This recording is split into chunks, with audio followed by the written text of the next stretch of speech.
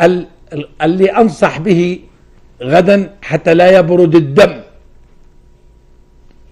غدا أسألكم بالله الذي إذا سئل أجيب. يا شعب سوريا الأبي من كافة طوائفه أن يكون غدا مليون على مستوى القطر ما أريد أن أكثر عليكم. إذا كانت درعا وليست من المدن الكبيرة خرج منها مئتا ألف. فما بالكم بالمدن الكبيرة كدمشق وكحلب وكحمص وكحما نحن نريد غدا أن يكون مجموع الخارجين يعني يصل إلى المليون. سلمية سلمية. تغيير تغيير. فقط سلمية. إصلاح إصلاح. شعار الأنبياء إن نريد إلا الإصلاح ما استطعنا. ضربتم بالرصاص نفر. لكن هذا ترى الرصاص لصالحنا. هذا الرصاص الآن سيشعلنا. هذا الرصاص سيدفع عزائمنا.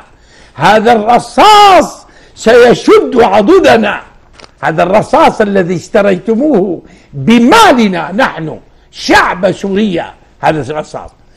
إذا حققنا أمس وبدأتم بالاعتصامات يعني المسألة ما هي مدروسة لا أدري أي ممكن اعتصام في درعا واعتصام في حلب واعتصام في الشمال اعتصام في إحدى المناطق الساحلية بالسلم.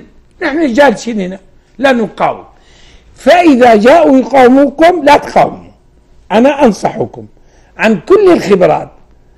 تمشون اضطروا ترجعوا بيروحوا من هنا بترجعوا من هنا. قتلوكم شيعوا.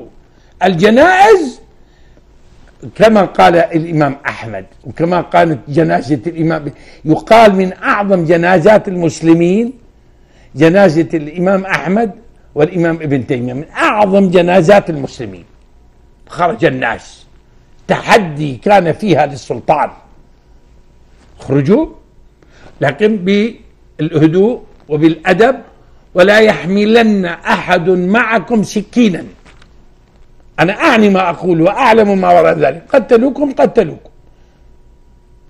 ثم بعد ذلك إن شاء الله يكون توجيه آخر حتى يصلح يصلح النظام أو يسقط. وما ذلك على الله بعزيز. وتلك فرحة إن شاء الله فالشهيد يفرح. الله يقول لكم يفرحون يستبشرون. الله يخبرنا. نعم. يفرحون يستبشرون. ونحن إن شاء الله نفرح بالنصر. طبعا تؤكدون على أن يبقوا لحمة واحدة وصف واحد. إن ذهبوا ذهبوا سويا. وإن عادوا عادوا سويا. طبعاً. حتى لا يتم اختراقهم لا لا لا. يذهبون سويا نعم. ويعودون سويا ويتشاورون فيما بينهم. جميل.